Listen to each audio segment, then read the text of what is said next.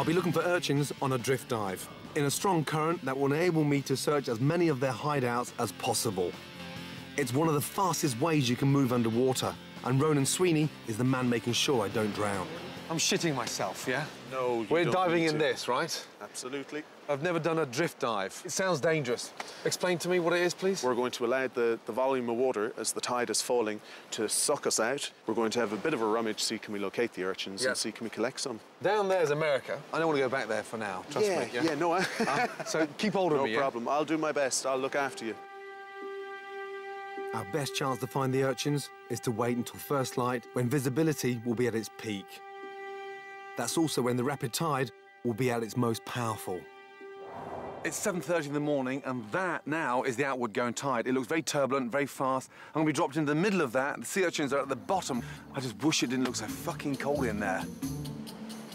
The current is so strong here, I'll be catapulted along the two miles of coast in just 15 minutes. Even the seals are struggling to keep up. It's amazing how the boat's struggling to get through like that. Absolutely, yeah. It's quite nerve-wracking. You're going to have a fantastic dive. No, no, I can't wait. You're Um, going to be on the edge with this one. In three hours, the fast-moving tide will change direction and charge back inland. We could end up in the depths of the Atlantic. The time to search this spot for sea urchins is now.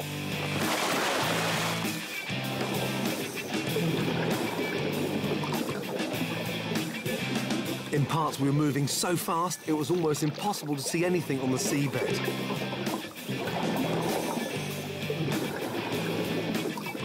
The momentum's amazing. You're just pushed along at such a speed that it's almost impossible to hold on to the bottom.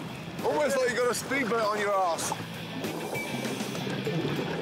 The drift dive enabled me to search a long stretch of the coastline. But surprisingly, we found nothing, and the strong tide was starting to run out of steam.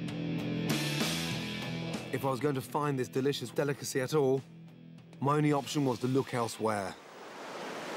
My final chance, the limestone at Muckinish Point, makes this prime urchin territory. Or so I hoped. You should have a fabulous dive. Okay, brilliant. Okay, hopefully, slightly fucking slower.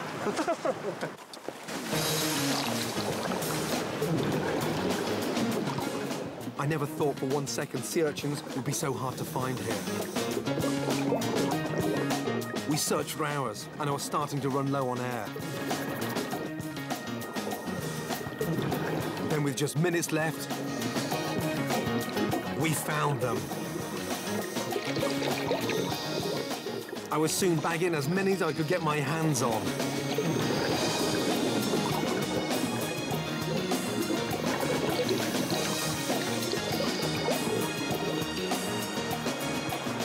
God, at long last.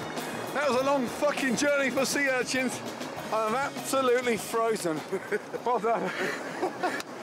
West coast of Ireland, stunning sea urchin. Jesus Christ, if it was that fucking difficult, I would have gone to Billingsgate.